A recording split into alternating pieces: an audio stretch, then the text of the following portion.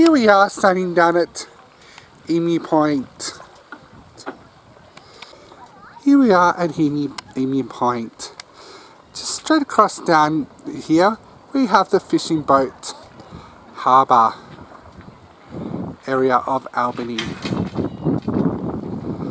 Also within this particular point we have the Squid, Squid Shack which is an ideal place to come for fish and chips.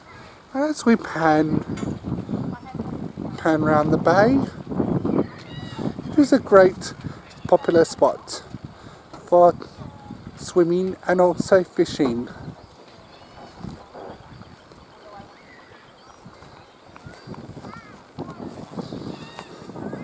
And we'll continue down walking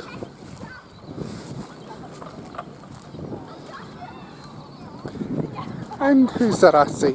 Hey Kaspa! Would you like to tell us any memories you have of Emu Point?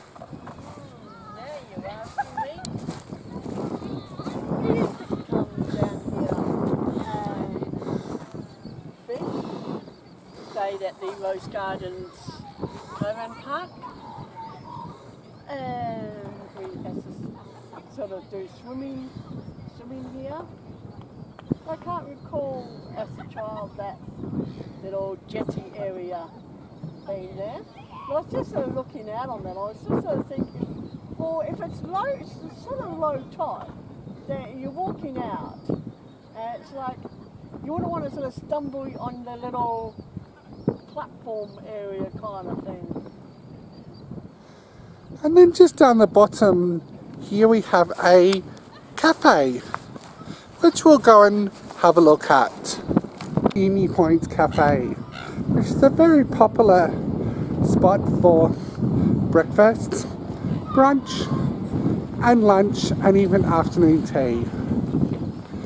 As we continue walking down here we'll have another look around at the little bit of a, a gap area between the two areas.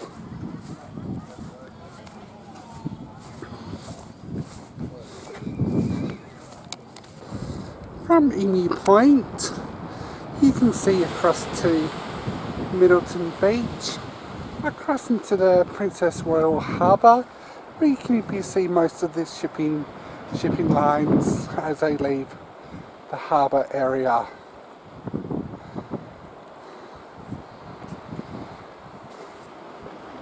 The catchment area of Emu Point is known as the Oyster Harbour.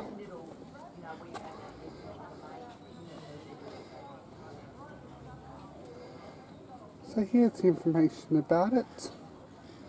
Feel free to pause to have a read.